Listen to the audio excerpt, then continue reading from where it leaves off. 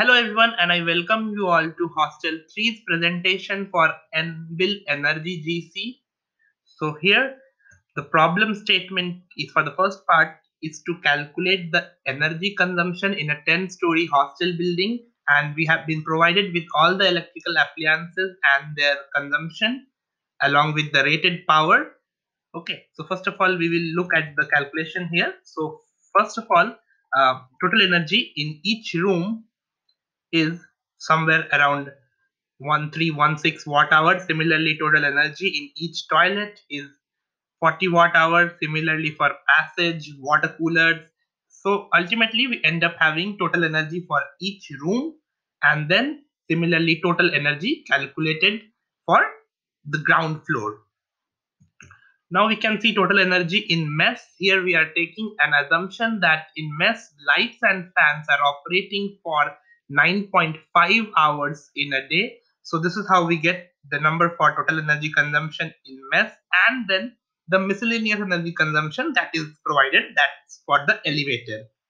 So this is how we end up having total energy consumption in hostel for one day. Our total number of working days in hostel is 240. So considering that we have a number for uh, total energy consumption in one year, then multiplied it with the cost of one unit okay then we have a get we are getting a range of electricity bill which is somewhere between 8 lakhs 42,000 to 8 lakhs 84,000 depending upon which value we are considering. Uh, for the detailed calculation you can check that link. Now we are talking about uh, the carbon footprint. So we can see here that the, the, the co-emission for carbon dioxide from coal is 820 similarly for oil is 650 nuclear sources is 12 hydroelectricity is 24 wind is 12 solar is 41 biomass and biogas is 240 now here we are taking uh, assumption that the remaining 2.14% of the graph consists mostly of biomass and biogases. Okay then we have this value that total power which was consumed is 1 lakh 21,157 and uh, certain percent 52 percent around 53 percent is coming from coal 26 percent is coming from oil and based on that we are calculating the carbon footprint for every, every one of the sources. So for coal number is coming to be quite huge. That's 52 around 52 metric ton per year and similarly for oil it's coming 20.81 metric ton per year. It was quite uh, natural value as these coals and oil are quite carbon rich sources. So a lot of CO2 emission will be observed.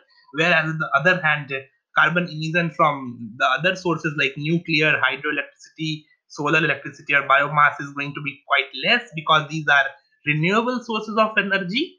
So this was quite a natural result.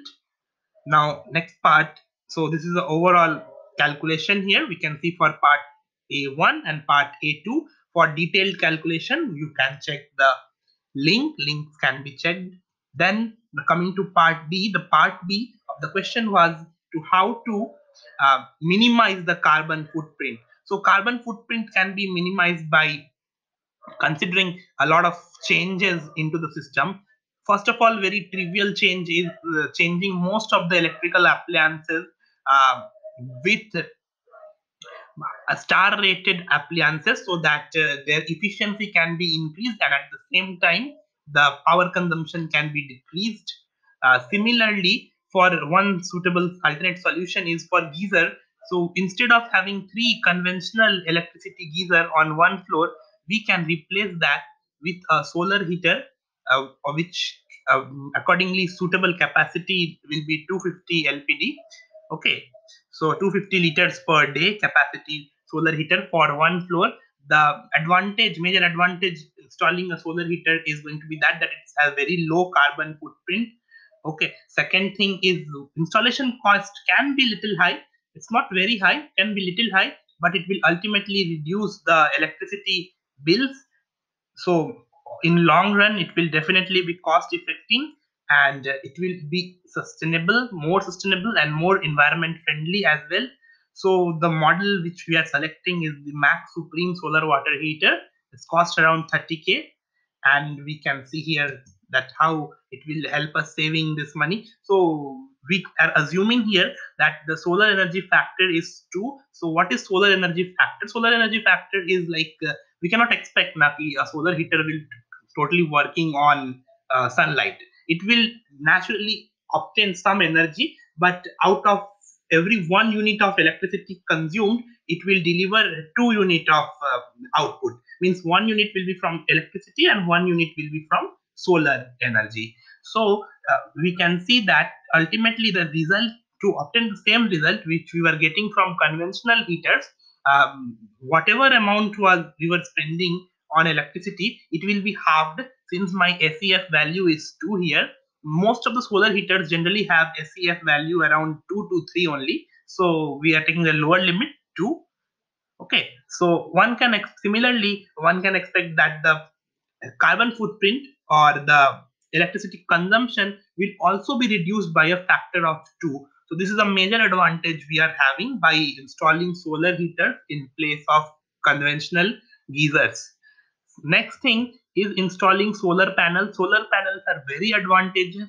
I agree that uh, one-time installation charge is going to be little high, but uh, government of India is providing subsidy, uh, significantly high subsidies on promoting renewable energy nowadays so it's a good investment similarly we can easily generate a lot of energy out of it with very low carbon footprint. So this carbon footprint associated with the solar panel will only during the time of manufacture. Once manufactured the overall functioning will have very significant uh, insignificant carbon footprint value or we can say zero carbon footprint value almost zero. And if maintained properly one of panel can easily work as long as 15 to 20 years most of the panels come with a warranty 10 year warranty. So we can expect zero maintenance cost for 10 years. After that a nominal maintenance charge can be expected but in the long run it will definitely save a loss lot of energy. Uh, the plan here is to use solar panels to generate energy for all the common areas and the miscellaneous um, part of uh, hostel where um, the demand is not very continuous. So these parts can be sustained through solar energy